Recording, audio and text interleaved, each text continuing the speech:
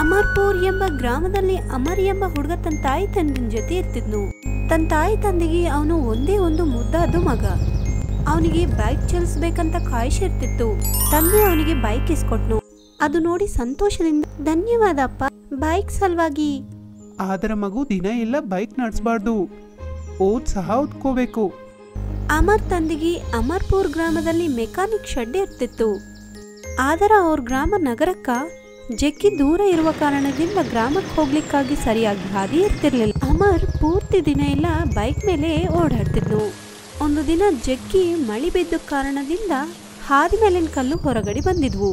ಅವನು ಜೋರಾಗಿ ಬರ್ತಾ ಇರುವ ಕಾರಣದಿಂದ ಕೆಳಗಡೆ ಬಿದ್ದು ಅವನ ಬೈಕ್ ಟೈರ್ಸ್ ಹುಚ್ಚೋದ್ವು ಅವನು ಜಗ್ಗಿ ಅಳಿತಾ ಇದ್ದನು. ನನ್ನ ಬೈಕ್ ನನ್ನ ಪ್ರೀತಿಯಾದ ಬೈಕ್, ಎರಡು ಟೈರ್ಸ್ ಹಾಳಾದವು. ಈ ರೋಡ್ ಕಾಂಟ್ರಾಕ್ಟರ್ ರೋಡ್ ಸಹ ಸರಿಯಾಗಿ ಹಾಕಿಲ್ಲ. ಏಸ್ ಕೊಳಗಳಿದ್ದಾವೆ. ಈ ಕೊಳೆಗಳಿದ್ದ ಕಾರಣದಿಂದ ನನ್ನ ಬೈಕ್ ಬಿದ್ದು ಹೋಯ್ತು ನಾ ಇದನ್ನ ಅಪ್ಪನ ಹತ್ರ ತೆಗೆದುಕೊಂಡು ಹೋಗ್ತೀನಿ. ಅವರೇ ಏನಾದರೂ ಒಂದು ಉಪಾಯ ಹೇಳ್ತಾರೆ. ತನ್ನ ಬೈಕ್ನ ಒಂದು ಟ್ರಾಲಿನಲ್ಲಿ ಹಾಕೊಂಡು ತನ್ನ ವರ್ಕ್ಶಾಪಿಗೆ ಹೋದನು. ಅಪ್ಪ ಅಪ್ಪ ನೋಡಿ ನನ್ನ ಬೈಕಿನ ಎರಡು ಟೈರ್ ಸ್ವಿಚ್ ಹೋಗಿದ್ದಾವೆ. ಮಗು ನಾನಂತೂ ನಿನಗೆ ಮೊದಲೇ ಹೇಳಿನಿ. ಬೈಕ್ ಹಾಕೊಂಡು ಇಲ್ಲಿ ಅಲ್ಲಿ ಓಡಾಡಬಾರ್ದು ಅಂತ. ಇಲ್ಲಪ್ಪ ತಪ್ಪೆಲ್ಲ ಆ ರೋಡ್ ಮೇಲಿರುವ ಕುಳೆಗಳಿಂದೇ ಆಗಿದೆ. ಅದರಿಂದ ನನ್ನ ಬೈಕ್ ಹಾಳಾಯಿತು. ಅದಕ್ಕೆ ನಾ ಏನು ಮಾಡಬೇಕು ಮಗು?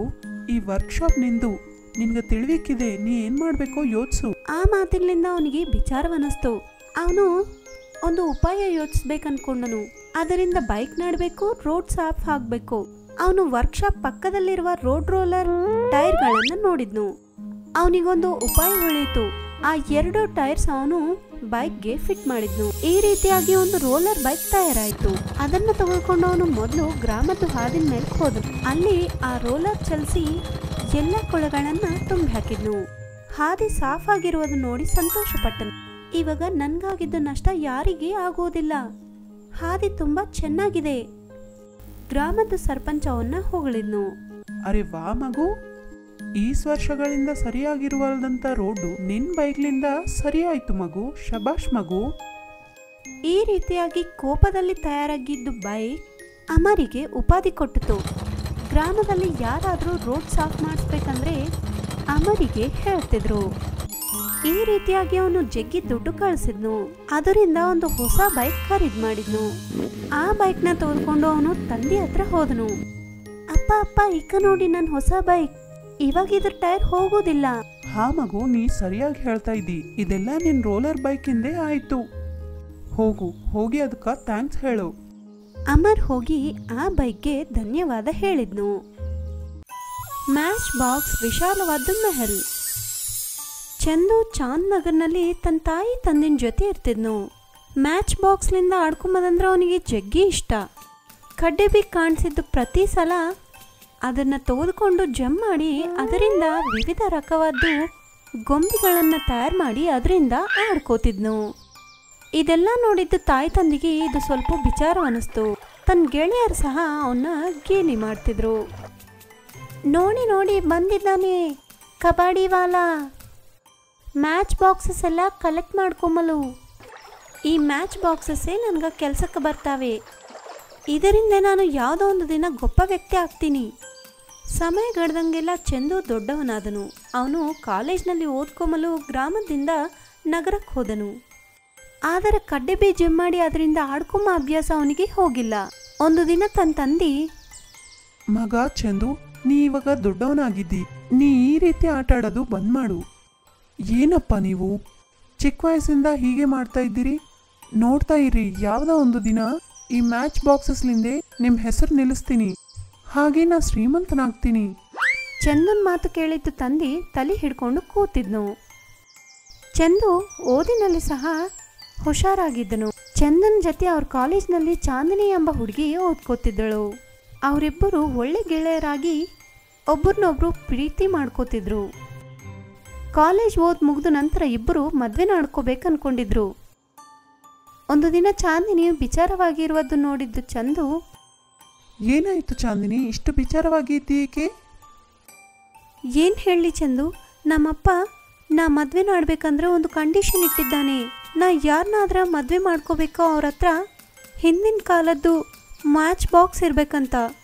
ಮತ್ತು ಆ ಬಾಕ್ಸಸ್ಸಿಂದ ಅವನು ನನ್ನ ಸಲುವಾಗಿ ಒಂದು ಮೆಹಲ್ ಕಟ್ಟಬೇಕಂತ ಇವಾಗ ನೀನೇ ಹೇಳು, ಇದು ಹೇಗೆ ಸಾಧ್ಯ? ಚಾಂದಿನಿ ಹೇಳಿದ್ದು ಈ ಮಾತಿಗೆ ಚಂದು ಜೋರಾಗಿ ನಕ್ಕನು. ಅವನು ನಗ್ತಾ ಇರುವುದನ್ನು ನೋಡಿದ್ದ ಚಾಂದಿನಿ ನಮ್ಮ ಅಪ್ಪೆಲ್ಲ ಇಂಥ ಕಂಡೀಷನ್ ಇಟ್ಟರೆ ನೀ ಇಲ್ಲಿ ನಗ್ತಾ ಇದೀಯಾ ಇಷ್ಟಕ್ಕ ವಿಷಯ ಏನು? ಚಾಂದಿನಿ ಇಂಥ ಕಂಡೀಷನ್ಸ್ ಆದರೆ ನಿನ್ನ ಮದುವೆ ನನ್ನ ಜೊತೆ ಆಗುತ್ತೆ. ನಿಮ್ಮಪ್ಪನ ಕಂಡೀಷನ್ ನನಗೆ ಮಂಜೂರಾಗಿದೆ. ಹೋಗಿ ಅವ್ರಿಗೆ ಹೇಳು ಅವರು ಯಾವ ಬೇಕಾದರೆ ಆಗ ನಾ ಈ ಕಂಡೀಷನ್ ಪೂರ್ತಿ ಮಾಡ್ತೀನಂತ. ಚಂದು ಪೂರ್ತಿ ವಿಷಯ ಎಲ್ಲ ಚಾಂದಿನಿಗೆ ಹೇಳಿದ್ನು. ಮತ್ತು ತನ್ನ ಚಿಕ್ಕ ವಯಸ್ಸಿನಿಂದ ಮ್ಯಾಚಸ್ ಡಬ್ಬಿ ಎಲ್ಲ ಜಮ್ ಮಾಡಿ ಆಡ್ಕೊಂಬೋದು ಹೇಳಿದ್ನು. ಏನು? ನಿಜನಾ? ಚಾಂದಿನಿ ಪೂರ್ತಿ ವಿಷಯ ಎಲ್ಲ ತನ್ನ ತಂದೆಗೆ ಹೇಳಿದ್ಲು. ಹಾ ಸರಿ ಸರಿ. ಆದರ ನನ್ನ ಕಣ್ಣಿಂದ ನಾನು ನೋಡತನ ನನ್ಗ ನಿನ್ನ ಮಾತಿನ ಮೇಲೆ ವಿಶ್ವಾಸ ಇಲ್ಲ.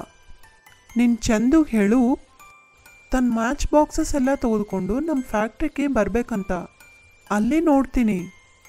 ಚಂದು ಪೂರ್ತಿ ಮ್ಯಾಚ್ ಬಾಕ್ಸ್ ಎಲ್ಲ ಟ್ರಾಲಿನಲ್ಲಿ ಹಾಕ್ಕೊಂಡು ಚಾಂದಿನಿ ಅವ್ರ ಫ್ಯಾಕ್ಟ್ರಿನ ಹತ್ರ ಹೋದನು. ಮತ್ತವನು ಅಲ್ಲಿ ಹಳೆಯವಾದ ಮ್ಯಾಚ್ ಬಾಕ್ಸ್ನ ತೋರಿಸಿದ್ನು. ಮತ್ತು ಮ್ಯಾಚ್ ಬಾಕ್ಸಸ್ ಮಹಲ್ ತಯಾರು ಮಾಡಿ ಸಹ ತೋರಿಸಿದ್ನು. ಚಾಂದಿನಿನ ತಂದೆ ಜಗ್ಗಿ ಸಂತೋಷವಾದನು ಮತ್ತು ಅವರಿಬ್ಬರಿಗೆ ಮದುವೆ ಮಾಡಿದ್ನು. ಚಾಂದಿನಿ ಮತ್ತು ಚಂದು ಸಂತೋಷವಾಗಿ ಇರ್ತಿದ್ರು. ಚಾಂದಿನಿನ ತಂದೆ ತನ್ನ ಮ್ಯಾಚ್ ಫ್ಯಾಕ್ಟ್ರಿ ಸಹ ಚಂದನ್ ಹೆಸರು ಮೇಲೆ ಬರೆದಿದ್ನು. ಚಂದು ಸಂತೋಷದಿಂದ ತನ್ನ ತಂದೆ ಹತ್ರ ಬಂದು ಹೀಗಂದನು. ನೋಡಿಯಪ್ಪ, ನಾ ಹೇಳಿನಲ್ವಾ, ಈ ಮ್ಯಾಚ್ ಬಾಕ್ಸಸ್ ಯಾವುದೋ ಒಂದು ದಿನ ನನ್ಗೆ ಕೆಲ್ಸಕ್ಕೆ ಬರ್ತಾ ಅಂತ? ಮತ್ತು ಇದರಿಂದ ನಾ ಒಂದು ಗೊಪ್ಪ ವ್ಯಕ್ತಿ ಆಗಿದ್ದೀನಿ. ಈ ಕಥೆ ಪಾನಿಪತ್ ಎಂಬ ಗ್ರಾಮದಲ್ಲಿ ನಡೆದಿತ್ತು. ಆ ಗ್ರಾಮದಲ್ಲಿ ಗಣೇಶ್ ಎಂಬ ವ್ಯಕ್ತಿ ತನ್ನ ಮಕ್ಕಳು ಶೀಲಾ ಮತ್ತು ಮಾಲನ್ ಜೊತೆ ಇರ್ತಿದ್ನು. ಮಾಲಾ ಸಣ್ಣವಳು. ಜಗ್ಗಿ ಹಠ ಮಾಡ್ತಿದ್ಲು. ಆದ್ರೆ ತನ್ನ ತಂದೆ ಸಾಮಾನ್ ತರಲು ನಗರಕ್ಕೆ ಹೋದಾಗ ಏನೋ ಒಂದು ತಿನ್ಲಿಕ್ಕೆ ತರ್ಬೇಕಂತ ಹಠ ಮಾಡ್ತಿದ್ಲು. ಒಂದು ದಿನ ಗಣೇಶ್ ಮುಖ್ಯವಾದ ಕೆಲಸದ ಮೇಲೆ ನಗರಕ್ಕೆ ಹೋಗ್ತಾ ಇರುವಾಗ ಮಾಲಾ, ಅಪ್ಪ, ನೀವು ನಗರಕ್ಕೆ ಹೋಗಿ ಬರ್ತಾ ಇರುವಾಗ ನನ್ಗ ಬೇಲ್ಪೂರಿ ಸಮೋಸ ಪಾನಿಪೂರಿ ತೆಗೆದುಕೊಂಡು ಬನ್ನಿ. ಸರಿ ಅಮ್ಮ, ನಾ ಖಂಡಿತ ತರ್ತೀನಿ. ಆದ್ರೆ ನೀವಿಬ್ಬರು ಮಾತ್ರ ಕೇರ್ಫುಲ್ ಆಗಿ ಇರಬೇಕು. ಏನಾದರೂ ಬೇಕಾದ್ರೆ ಕಾಕನ ಮನೆಗೆ ಹೋಗಬೇಕು. ಈ ರೀತಿ ತಂದೆಗೆ ಹಾಮಿ ಕೊಟ್ಟಿದ್ರು.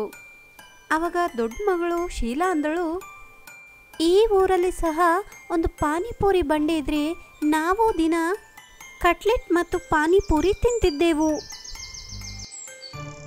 ಆದರೆ ಆ ಗ್ರಾಮದಲ್ಲಿ ಯಾರು ಚಾಟ್ ಭಂಡಾರ್ ಇಟ್ಟಿಲ್ಲ.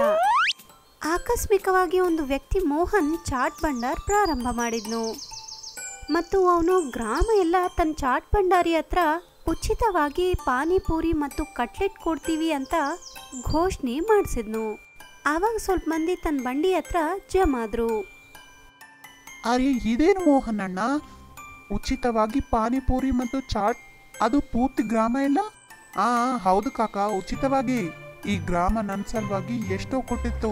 ಉಚಿತವಾಗಿ ತಿನ್ಬೇಕು. ನಗರಕ್ಕೆ ಹೋಗಿ ನಾ ಜಗ್ಗಿ ಗಳಿಕೆ ಮಾಡಿದ್ದೇನೆ. ಅದಕ್ಕಾಗಿ ನಾ ಗ್ರಾಮಕ್ಕೆ ಬಂದು ಎಲ್ಲರಿಗೆ ಉಚಿತವಾಗಿ ಚಾಟ್ ಮತ್ತು ಪಾನಿಪುರಿ ಇಡಬೇಕಂತ ಅನ್ಕೊಂಡಿದೆ ಅರೆ ವಾ ಮೋಹನ್, ಚಾಟ್ ಮತ್ತು ಪಾನಿಪುರಿ ಜಗ್ಗಿ ಸ್ವಾದಿಷ್ಟವಾಗಿದೆ. ಜಗ್ಗಿ ರುಚಿಕರವಾಗಿದ್ದಾವೆ. ನೀರಂತೂ ಮತ್ತು ಮತ್ತು ಕುಡಬೇಕಂತ ಅನಿಸ್ತಾ ಇದ್ದಾವೆ. ಈ ರೀತಿಯಾಗಿ ಈ ವಿಷಯ ಪೂರ್ತಿ ಗ್ರಾಮ ಎಲ್ಲ ವ್ಯಾಪ್ತಿಯಾಯಿತು. ಈ ಮಾತು ಶೀಲಾ ಮತ್ತು ಮಾಲಾ ಕೇಳಿದ್ರು. ಅಕ್ಕ ಅಕ್ಕ ನಡಿ ಅಲ್ವಾ ಉಚಿತವಾದ ಪಾನಿಪುರಿ ಮತ್ತು ಕಟ್ಲೆಟ್. ಮಜಾ ಅನಿಸುತ್ತೆ. ನಡಿ ಹೋಗೋಣ ತಿನ್ಲಿಕ್ಕಿ. ಅರೆ ಮಾಲ, ನನಗಂತೂ ಇದೇನೋ ತಪ್ಪ ಅನಿಸ್ತಾ ಇದೆ. ಸರಿ, ಮುಂದ ನೀ ಹೋಗು.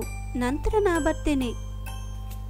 ಈ ರೀತಿಯಾಗಿ ಶೀಲಾ ಮೊದಲು ಮಾಲನ್ನ ಕಳಿಸಿ ಅಸಲ್ ವಿಷಯ ತಿಳ್ಕೊಲಿಕ್ಕಾಗಿ ಹಿಂದೆ ಹೋಗ್ತಾ ಇದ್ದಳು. ಅದರ ಹಿಂದೆ ಒಂದು ಮರನ್ ಪಕ್ಕದಲ್ಲಿ ಬಚ್ಚಿಟ್ಕೊಂಡು ಎಲ್ಲ ಗಮನಿಸ್ತಿದ್ರು. ಅವಾಗ ಪಾನಿಪೂರಿ ನೀರಿನಲ್ಲಿ ಮೋಹನ್ ಏನೋ ಕಲಿಸ್ತಾ ಇರುವುದು ಮಾಲಾ ನೋಡಿದ್ಲು. ಮತ್ತು ನಕ್ಕೋತ ಈ ರೀತಿ ಅಂದನು. ಹುಚ್ಚು ಮಕ್ಕಳು. ಈ ಮೂರ್ಖರಿಗೆ ಗೊತ್ತಿಲ್ಲ. ಈ ನೀರು ಕುಡಿದ್ರೆ ಅವ್ರ ಪೂರ್ತಿ ಯವನ ಎಲ್ಲ ಹೋಗಿ, ಅದು ನನಗೆ ಬರ್ತದಂತ ಅವ್ರಿಗೆ ಗೊತ್ತಿಲ್ಲ. ಮತ್ತು ನಾನು ಯಾವಾಗೂ ಮುದುಕನಾಗೋದಿಲ್ಲ. ಹ ಹ ಹ ಹ ಹ ಹ. ಈ ಮಾತು ಕೇಳಿದ್ದು ಶೀಲಾ ಹೆದರ್ಕೋತಾಳೆ. ಆದ್ರೆ ಅವಳು ಎಲ್ಲರ ಎದುರಿಗೆ ಬಂದು ಮೋಹನ್ ಅನ್ಕೊಂಡು ಮಾತನ್ನ ಎಲ್ಲರ ಮುಂದ ಹೇಳ್ತಾಳೆ. ಎಲ್ಲರೂ ಆಶ್ಚರ್ಯವಾದರು. ನೋಡ್ ಮೋಹನ್, ಇವಾಗಂದ್ರೆ ಇವಾಗಿ ನೀ ಈ ರಸಾಯನ ಕುಡಿಬೇಕು. ಇಲ್ಲಾಂದ್ರೆ ಪೂರ್ತಿ ಗ್ರಾಮ ಎಲ್ಲ ನಿನ್ನ ಹೊಡೆದು ಹೊಂಟಾಕ್ತಾರೆ. ಇಲ್ಲ ಇಲ್ಲ ತಂಗಿ, ನನ್ಗ ಕುಡಿಲಿಕ್ಕಾಗಲ್ದು. ನಾ ಕುಡಲ್ಲೇ. ನನ್ನ ಬಿಡು ತಂಗಿ, ನನ್ನ ಬಿಡು. ಆದರೆ ಎಲ್ಲ ಗ್ರಾಮಸ್ಥರು ಮೋಹನ್ನ ಹೊಡಿಲಿಕ್ಕೆ ಬರ್ತಾ ಇರುವಾಗ ಮೋಹನ್ ಆ ರಸಾಯನ ಕುಡಿದು ಹಾಕಿದ್ನು. ಕೂಡಲೇ ಅವನು ಒಂದು ಮುದುಕನ್ ತರ ಬದಲಾಯಿಸಿ ಕೆಳಗಡೆ ಬಿದ್ದು ಹೋದನು. ಗ್ರಾಮಸ್ಥರೆಲ್ಲ ಶೀಲನ್ ಧೈರ್ಯ ನೋಡಿ ಅವಳನ್ನ ಹೊಗಳಿದ್ರು. ಈ ರೀತಿಯಾಗಿ ಶೀಲಾ ಗ್ರಾಮಸ್ಥರನ್ನೆಲ್ಲ ಮುದುಕರಾಗಲ್ದಂಗ ಕಾಪಾಡಿದ್ಳು.